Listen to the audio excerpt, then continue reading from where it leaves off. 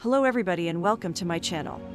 If you are interested in top more highest, weirdest, tallest, smallest, most beautiful things in the world which include places, animals, curiosities, don't hesitate to subscribe and to follow this channel. As a tourist, you want to visit a lot of countries in the world and you really want to experience their culture. But sometimes, due to financial issues, you can't do that and that is why it is necessary to know which is the most expensive country in the world. Choosing a country to visit is an important decision because it won't be possible if you don't have enough money. And that is why to make your job easier, we have listed down the top 5 most expensive countries in the world below.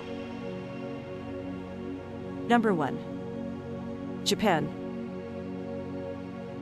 Japan is the most expensive country in the world for expats, with an average cost of living that exceeds $40,000 per year.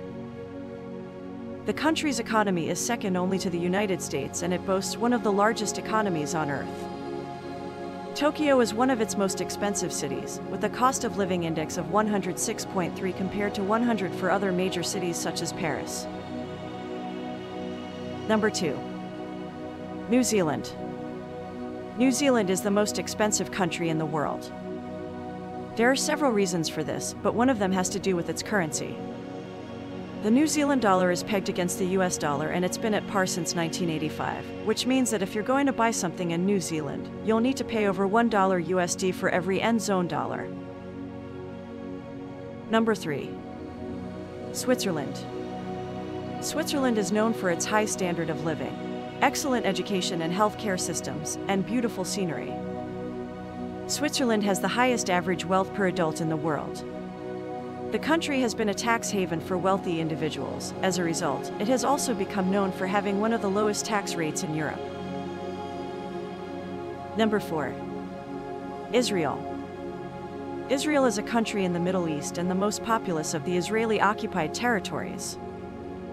The name of the country is derived from its location at the intersection of the Mediterranean Sea and the North American continent. Israel has been a monarchy since 1948 when it was established as an independent state after being mandated by United Nations to do so after World War II ended. Number 5. Luxembourg. Luxembourg is a small European country located between France and Germany.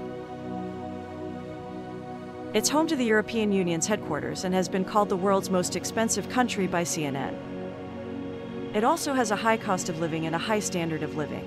But it doesn't have much else that makes it particularly unique or special. Its banking sector is one of the largest in Europe. Its central bank holds more gold than any other entity on Earth. The government-owned national airline provides direct flights from Luxembourg City Airport to New York City. This service costs around $350 per person round trip. These are the most expensive countries in the world. The countries of the world have few surprises to offer. It is because they present us with a variety of opportunities including an excellent standard of living, a good climate and natural resources. On top of all this, there are some most expensive countries in the world. However, this list may surprise you as there is no country that doesn't offer the potential for making money, but one that deserves it more than others.